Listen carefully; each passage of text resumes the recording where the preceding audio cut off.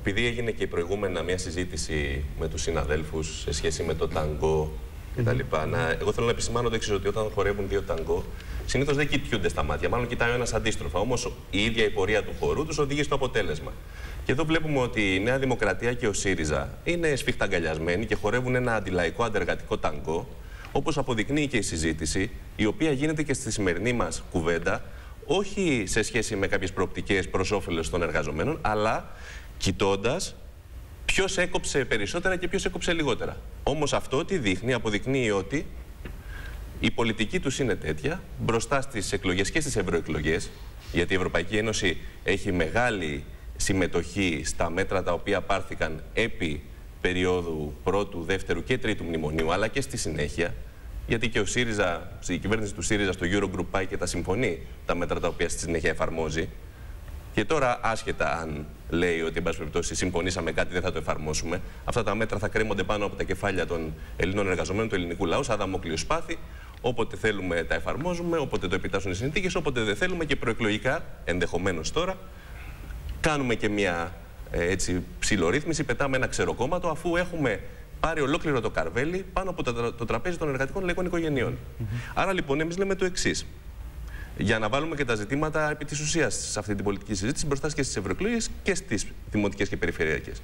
Εάν ήθελαν πραγματικά η Νέα Δημοκρατία, ο ΣΥΡΙΖΑ, το ΠΑΣΟΚ, τα υπόλοιπα κόμματα να στηρίξουν την άνοδο των μισθών. Γιατί λέει τώρα ο κ. Σαρακιώτης, ας πούμε, ότι ε, κατα είναι μέτρο επιστροφής της φοροελεηλασίας του λαού το γεγονός ότι ανέβηκε ο κατώτατος μισθός. Γιατί η κυβέρνηση, η κυβέρνηση από τι πληρώνει τον κατώτατο μισθό, Ποιος τον πληρώνει, η κυβέρνηση τον πληρώνει. Θετικό μέτρο ανέφερε. Θετικό μέτρο, καλά. Ε, δεν μάλλον ξεχνάει. Θετικό η αύξηση της τάξης. Θετικό, αλλά λέω δεν συνδέεται, δεν συνδέεται, δεν συνδέεται με, τα με τα πλεονάσματα. Δεν συνδέεται με τα πλεονάσματα, με αυτή την έννοια.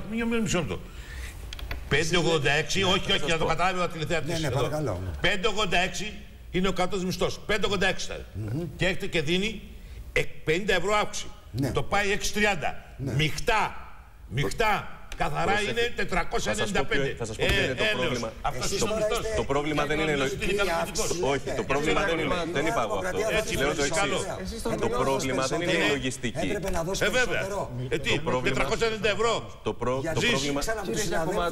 Ο κύριος Βρούτση έλεγε ότι είναι απαράδεκτο να αυξηθεί ο κατώτατος μισθό. Κύριε, δεν σας Την άρηξη του 2014. και ο κύριος Αλαθάνο. Έλεγε ότι είναι απαράδεκτο να αυξηθεί ο κατώτατος. Το πρόβλημα ποιο είναι, δεν είναι μόνο αριθμητικό. Το πρόβλημα είναι ότι συνδέεται ο κατώτατος μισθός με νομοθετήματα και με τη γενικότερη πορεία της οικονομίας της χώρας. Και αποδεσμεύεται από την πάλη των εργαζομένων μέσα στους χώρους δουλειάς, μέσα στα συνδικάτα, στα σωματεία, να μπορούν να διαπραγματεύονται. Αυτό είναι το βασικό πρόβλημα. Ναι. Γιατί αλλιώς μπορεί να δημιουργηθούν και άλλες προποθέσει και μια δυναμική και να μπορούν οι εργαζόμενοι να διεκδικήσουν και υψηλότερο κατώτατο μισθό, αλλά αυτό θα είναι δεσμευμένο με νομοθέτημα. Αλλά λέω το εξής: ξεχνάει ο κύριος ε, οι κύριοι του ΣΥΡΙΖΑ όταν μιλούν για τα πρωτογενή πλεονάσματα, ότι το μέτρο το οποίο με μεγάλη ευκολία πάρθηκε είναι να δοθούν τα 3,7-3,8-4 δισεκατομμύρια ή να προσχεδιαστούν να δοθούν για το Διεθνές Νομισματικό Ταμείο. Ναι. Δηλαδή, όχι μόνο μας τα παίρνουν τόσα χρόνια και το έχουμε δει με 40% απώλειες στο εισόδημα όλα τα χρόνια της κρίσης. Εγώ δεν θα πω ποιος φταίει περισσότερο, γιατί και η Νέα Δημοκρατία και το Πασόκ και ο ΣΥΡΙΖΑ την ίδια πολιτική εφαρμόζουν επί της ουσίας. Ναι. Έτσι. Άρα το θέμα είναι, εάν ήθελαν πραγματικά να λύσουν μια σειρά τέτοια προβλήματα, θα ψήφιζαν τις προτάσεις, τα σχέδια νόμου και τις τροπολογίες που έχει καταθέσει το ΚΚΕ από την αρχή της προηγούμενης βουλευτικής θητείας, που είχαν να κάνουν με την ανάκτηση των απολειών, την αύξηση του μισθού στα 751, για παράδειγμα, σαν πρώτο μέτρο. Ε, να σταματήσει η φορολεηλασία του λαϊκού εισοδήματος. Να μην μπούμε σε πληστηριασμούς. Να αυξηθούν τα φορολογικά όρια και όχι τώρα να κάνουμε μια συζήτηση ποιος προτείνει. Γιατί και 120 δόσεις.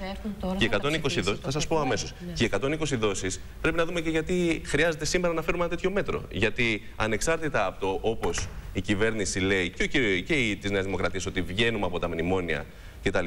Ο λαός αποδεικνύεται ότι την περίοδο που βγήκαμε από το μνημόνιο, υποτιθε, υποθυθέμενα, τον Αύγουστο του 2018, χτύπησε κόκκινο η δυνατότητά του να αποπληρώσει αυτά που είχε να αποπληρώσει.